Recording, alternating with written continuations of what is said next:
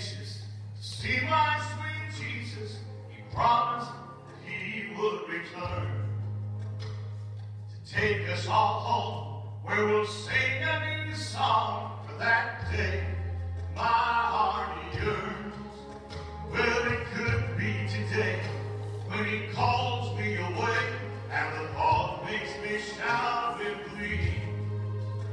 What a welcome case I've seen when he